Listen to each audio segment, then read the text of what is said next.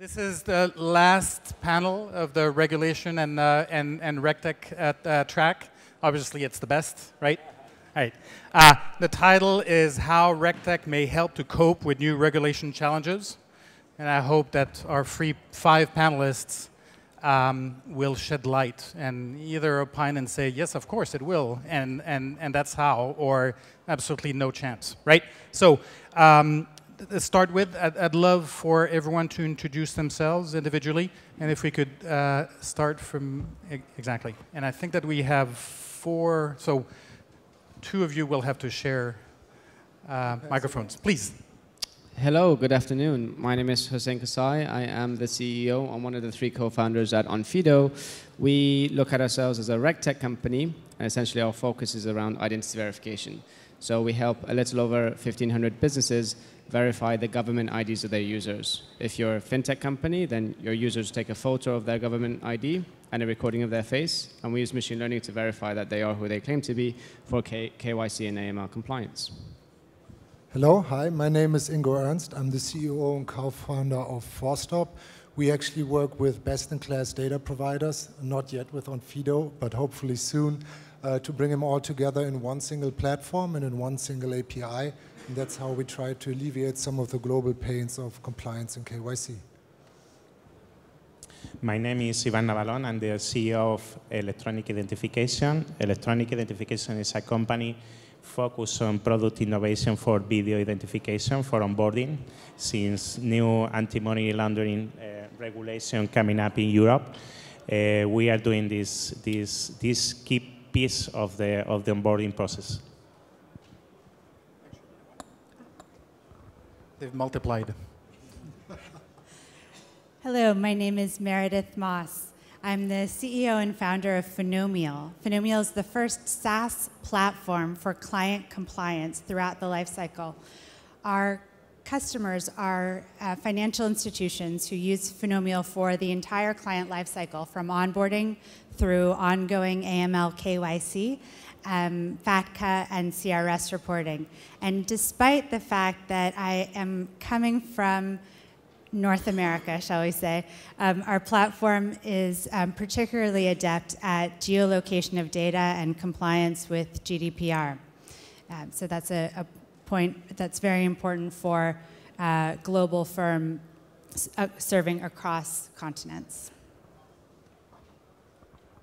Good afternoon, everybody. My name is Luis Valdich. I'm a managing director with Citi Ventures. I'm based in New York and invest across uh, fintech, very broadly defined, obviously RegTech, a very important element uh, thereof, but also in other areas of enterprise uh, technology, including you know, big data, artificial intelligence, and the like, uh, both in the US and in Europe and Israel. All right.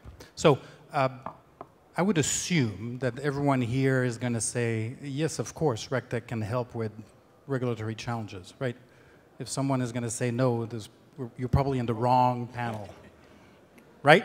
Do I get a? Yes, do I get a like? Absolutely. Right, okay. So the issue is uh, uh, how how easily and what are the different avenues, uh, which I'd love for you to you know uh, start answering, probably from the venture point of uh, your own businesses or as, a, as, a, as an investor. But I'm going to add uh, an, an, another uh, vector of discussion, which is regulatory challenges can be viewed from the point of view of the entity that is being regulated, right? I.e., I'm going to discharge my regulatory burden uh, faster, easier, uh, cheaper, more transparently with a new startup uh, or a service provider that is providing a RegTech solution. And additionally, I'm a regulator and I have challenges regulating and these types of RegTech solutions are going to help me discharge my own regulatory burden, which is regulating uh, others. And in between these two, and depending on the technology that one uses, there's probably recursive hopefully virtuous circles that are going to make uh, regulation uh, better. Am I on the right, right track? Who wants to lead? I'll, I'll, All right. Yeah. Um, so I, I, think you're you're spot on there, and I think it's it's not a coincidence that every one of us on this panel are focused on regulations that have to do with the identity of your counterparty or your client. That's really different than what you would have seen several years ago on a RegTech platform. We would have seen transaction monitoring, um, suspicious activity reporting.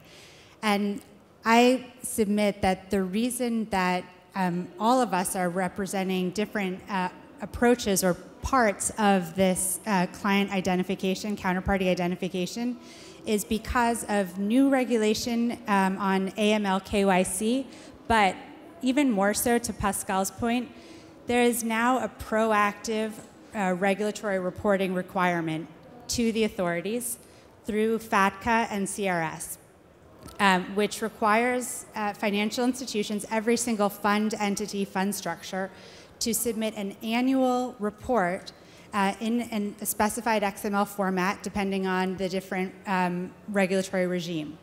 And that is um, kind of driving that virtuous cycle that Pascal is speaking about the idea that the technology both helps internal processes as well as helps the regulators have uh, visibility to the data and the activity they're trying to regulate. Um, the thing that makes this such a, shift, a seismic change is, let me see a show of hands, people from financial institutions today. And then uh, another show of hands, people with more than one uh, uh, investment vehicle or financial account in your name.